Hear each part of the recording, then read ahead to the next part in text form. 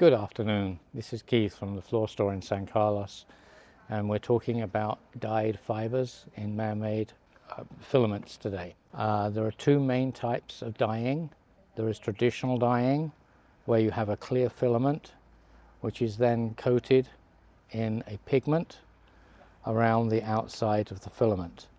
This we would describe as being a radish, where you have the clear filament in the middle and the pigment around the outside and then you have solution dyed fiber where the yarn itself is extruded in the color that you want. The color penetrates right through the filament so this will give you a much more stain resistant fiber but this will give you a much more set color saturated vibrant color.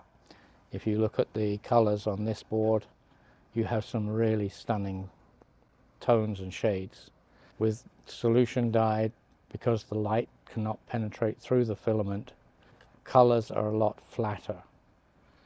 Also, when you're doing a solution dyed yarn, you are limited in the number of colors that you're going to have produced at a time. So this is a good board to show where they've taken two solid colors and blended them to make a third color.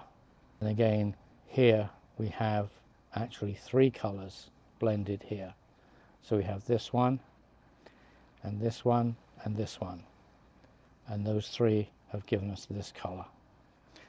These two are solid colors, this is solid color, and these again are all combinations of the solid colors.